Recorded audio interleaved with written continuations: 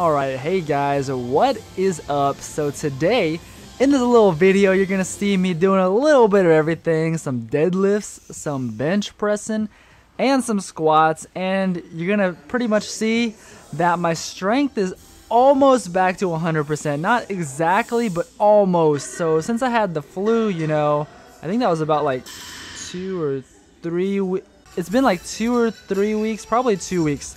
Um, before this video since my flu ended and I've just been working back to get the strength, working to get the strength back. Wow. And, uh, you know, like I said, the deadlift strength came back pretty fast. I was already able to hit, um, you know, new PR records and things like that. On this day, back on the program, I was going for, I was supposed to go for two sets of three to six reps of 132.5 kilos, which is 292.1 pounds. And I was a little nervous because, you know, I, I didn't, I really didn't think I was going to be able to hit six reps of this weight just because I've never done it before. Like, I, when I did like 300 pounds just for fun before, I only got like two reps. So now, uh, today I hit two sets of six reps with a on 292.1 pounds. So it, it was it wasn't bad, too bad at all. And I think definitely the uh, change in my kind of technique helped. Like like I said last time, I got my feet closer in together, and that just helps me get a lot tighter. Helps me use a lot more of my leg power right out of the bottom, and it just feels yeah, it just feels a lot better for me. Like you're gonna see these these reps they go up pretty smoothly and the form is pretty good too. There's no like uh you know there's no banana pulling no pulling the bar out front or anything. It's pretty solid. And that's the end of the deadlifts. Moving on to the next day.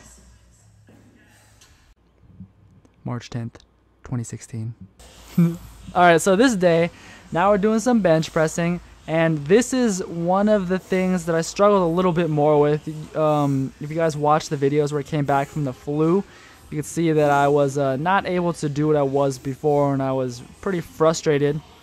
So on this day, I went back to the program, supposed to do three sets of four to six reps of 87.5 kilos, which is 192.9 pounds.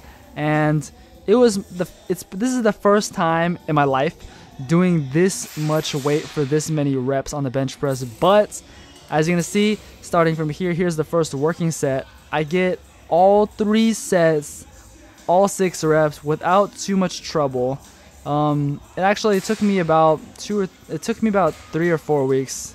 Now that I'm looking at the Instagram post that I made, it took me about three or four weeks, but finally, um, most of the strength that I lost from having the flu and doing nothing for a whole week has come back. Um, one thing that I had to kind of get was the feel back for the bench. Just not benching for a whole week, or not exercising, not doing anything for a whole week.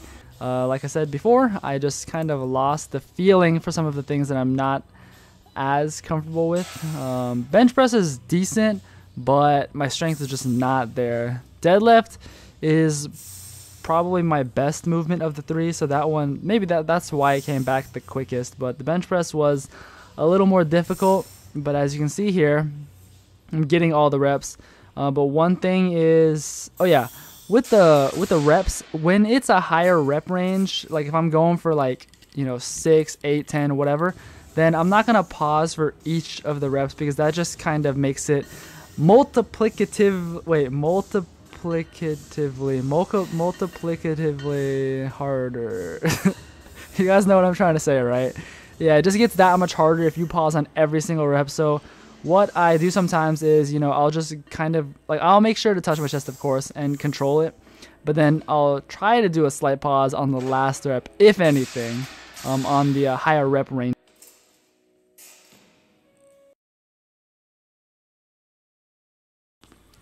Alright guys, and now let me give you a little random life update. You know, it isn't one of my hobbies, one of the things that I like to do is playing some tennis. And this is super random and not many of you are going to care, but I'm going to talk about anyways because this is my videos of my life, man. So, when tennis, like one of the biggest things since I haven't played a match in a very long time or done anything like that, I haven't needed to serve, you know, it's just been rallying, getting used to the surface and things. But finally on this day, I was feeling a little com I was feeling more comfortable with my serve. You're gonna see these clips. Boom! Oh my goodness, 200 miles. No, just kidding. I wonder how fast my serve is. I actually have no idea, but I'm, I'm pretty freaking curious. But yeah, things are getting a lot better now. Tennis still enjoying it. It's pretty freaking fun.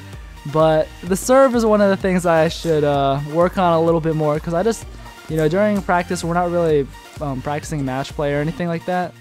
Except for Fridays when we play doubles. But yeah, something I gotta work on. But this day felt pretty freaking good. Alright, now back to the workout footage. Back to what everybody wants to see on March 14th, 2016.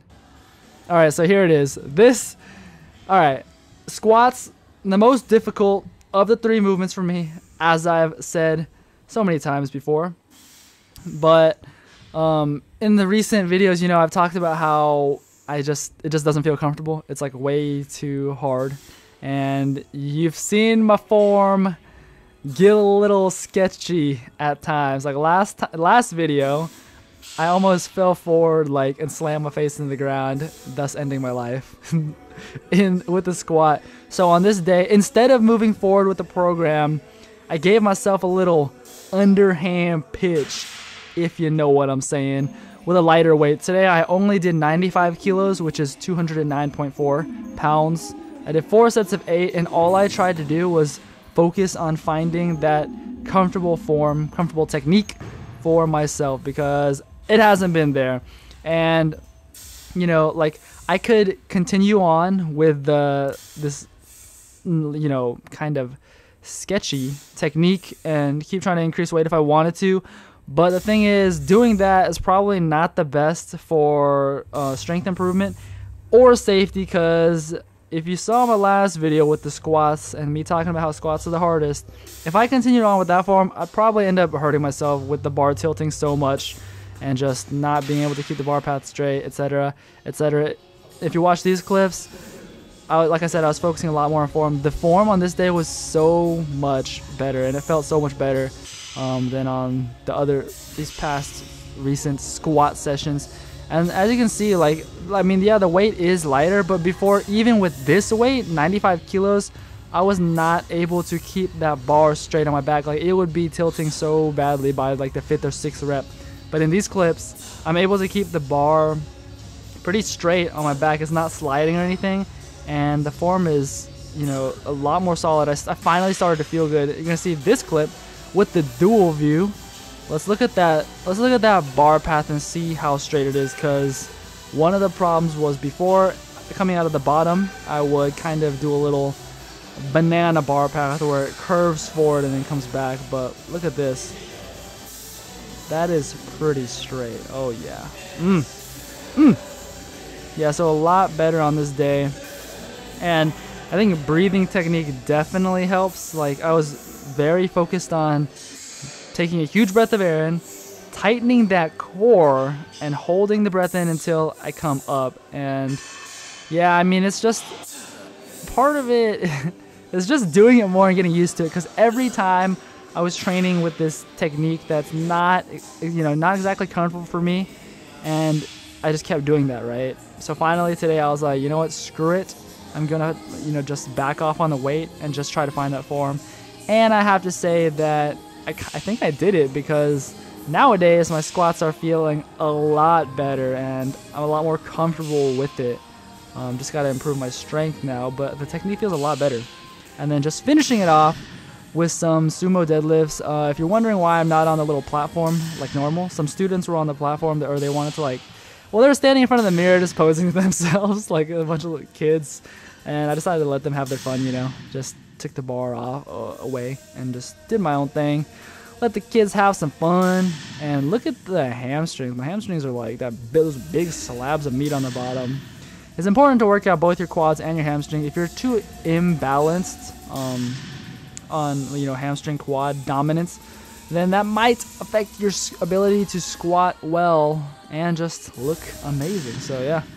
Anyways, that's the end of this video, guys. I can't believe I just did that in one take. Hope you enjoyed it, and see you next time. Peace out.